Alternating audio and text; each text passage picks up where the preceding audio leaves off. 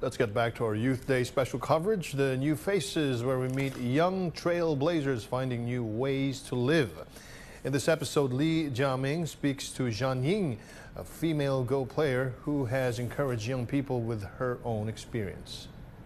Zhan Ying is a Go player who does not have a glorious career record.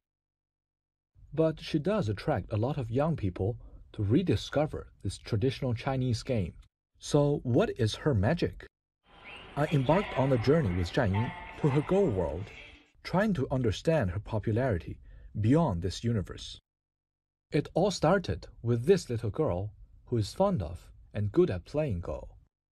Like many of her peers, Zhan Ying started to practice Go at an early age. Around six years old, that's when I started playing Go every day, which I've been doing since I can remember.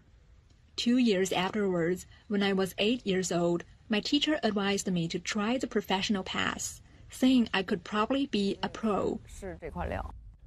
At 10 years old, she quit school and chose to undertake professional training. Since then, her life was all about black and white, win and lose.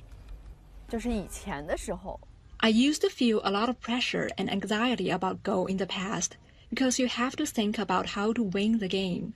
Don't talk about traditional culture. Back then, for me, if you couldn't win, you had no job. No matter how well you perform in the process, did you end up winning? China has some 300 registered female professional Go players.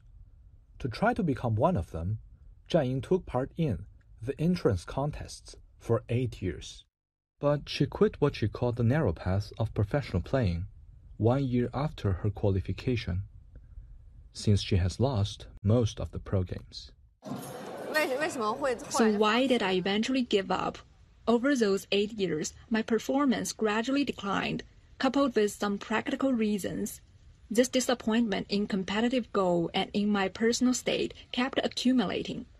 Then, when it reached a critical point, I naturally felt it was time to let go. Instead, she took a popular path, teaching Go online. Then, a live streaming video went viral in which she burst into tears as her not so successful professional career was mocked by some netizens.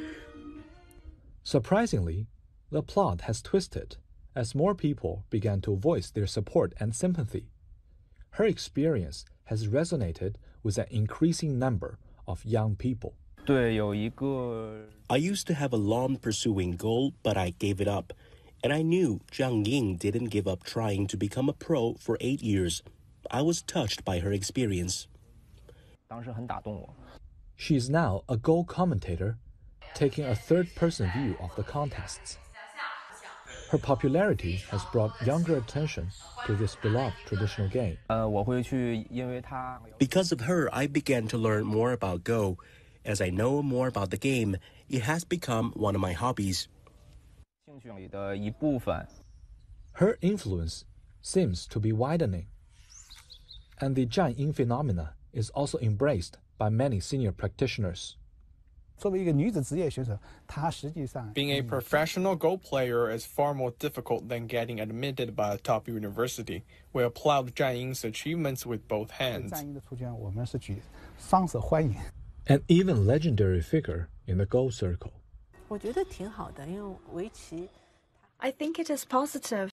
Go is still a relatively niche sport, however, it has been promoted. I think Zhan Ying is impressive since her popularity has gone beyond this circle. We believe she is the best female Go player in popular regard. The story of Zhan Ying is encouraging young people to believe that you don't have to win to be a hero. For Zhan Ying, she is happy to see people having a growing attention to Go, the love of which she believes is deep in her veins.